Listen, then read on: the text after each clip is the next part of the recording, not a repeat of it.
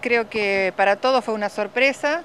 Eh, últimamente siempre andamos con muchas precauciones o tomamos muchas medidas o somos muy cautos a la hora de hacer anuncios, pero por suerte fue un muy lindo fin de semana. Tuvimos entre un 85 y un 90% de ocupación acá en Villa General Belgrano, un poco menos en, las localidades vecinas y creo que entre, en todo el valle debemos haber tenido en promedio un 50%, que no es mala, considerando de que hubo muchos fines de semana y muchos, eh, muchos momentos de, digamos, en que la gente tenía la cabeza en otras cosas, ¿no?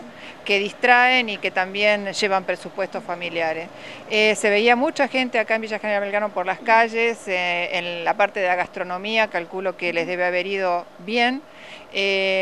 también la gente compra comida en el supermercado y comidas rápidas y, hacerse sanguchitos para llevarse al río.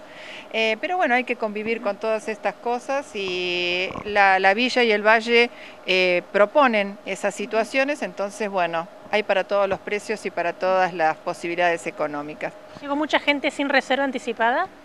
Eh, la gente por lo general se acostumbró a hacer las reservas, más que nada acá en Villa General Belgrano porque es un lugar que a veces han quedado fuera. Eh, pero como hoy hacer con un teléfono o con una tablet una reserva es tan fácil, generalmente se hace más o menos en el momento, 48, 72 horas o 24 horas antes, pero tratan de hacer reservas.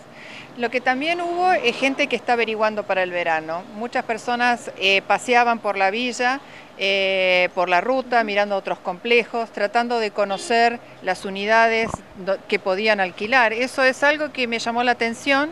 Eh, tratan de ver si lo que se ve por internet es lo mismo que se ofrece después y gente también viendo las realidades de los distintos lugares de alojamiento.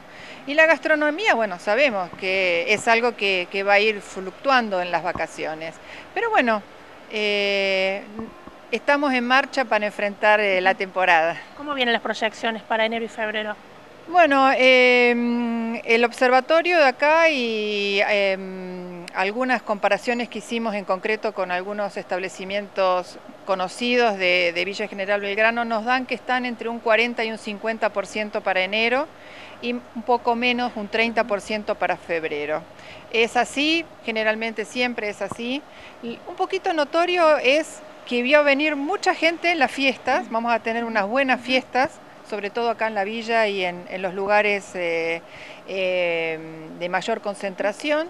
Eh, para el 25 y el 31. Sobre todo el 31 vamos a tener un buen fin de semana, unas buenas fiestas muy movidas, inclusive dicho por la gastronomía que ya les han llamado para ver cuál era el menú y que querían contratar para esa noche.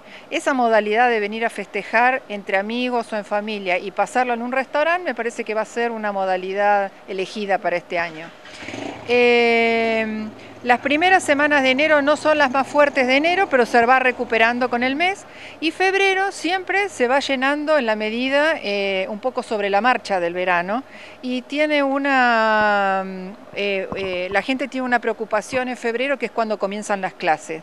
Que cuando más claro siempre estén, la gente utiliza más el, mes de febrero que en otras oportunidades, cuando las clases comienzan antes o están indefinidas. Así que bueno, creo que va a ser una temporada buena, yo no diría ni por ahora, no me atrevería a decir excelente, y esperemos que esté entre buena y muy buena.